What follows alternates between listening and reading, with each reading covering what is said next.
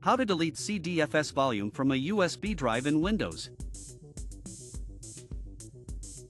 When you plug a USB drive into your computer and see a CDFS, compact disk file system, volume, it can be quite perplexing. CDFS is typically used for CDs and DVDs, and encountering it on a USB drive is uncommon. This issue usually arises from special software or utilities previously loaded onto the USB device. Deleting a CDFS volume from a USB drive can be necessary for reclaiming storage space and enabling normal use of the drive.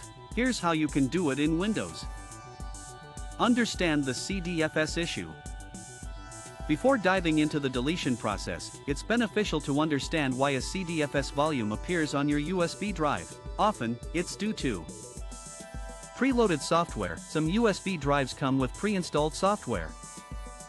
Device firmware, certain devices use CDFS to store firmware or user manuals. Previous uses, the USB drive might have been previously used in a manner that created a CDFS volume. Steps to delete the CDFS volume. Method 1 Using Disk Management. Connect the USB drive to your computer. Open Disk Management.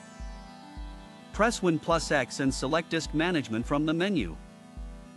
Locate your USB drive. In the list of drives, find your USB drive, it will likely be listed with a file system type of CDFS. Delete the volume. Right-click on the CDFS volume and select Delete Volume. If the option is grayed out, proceed to the next method. Method 2, using command prompt, diskpart. If disk management fails, using the command prompt's diskpart utility can be more effective. Open Command Prompt as administrator. Press Win plus X, then select Command Prompt, Admin or Windows PowerShell, Admin. Launch DiskPart. Type DiskPart and press Enter.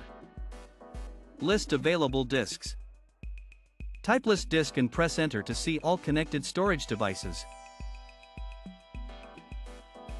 Select your USB drive.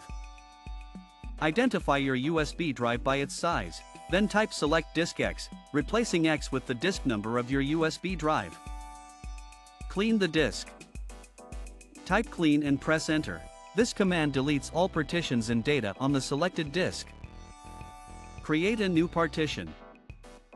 Return to disk management or use diskpart to create a new partition. In diskpart, type create partition primary and press enter. Type format fs equals ntfs quick or replace NTFS with exFAT if you prefer, and press enter. Type assign to assign a drive letter. Additional tools. If you encounter persistent issues, third-party partition management tools may offer more comprehensive solutions. Ensure you back up any important data before proceeding with any method. Conclusion Deleting a CDFS volume from a USB drive in Windows involves using either the disk management tool or the diskpart command line utility. These methods enable you to remove the special volume and reset your USB drive for normal use. By following the outlined steps, you can reclaim your device's storage space and functionality. Remember, always double-check which disk you are selecting in any management tool to avoid unintended data loss.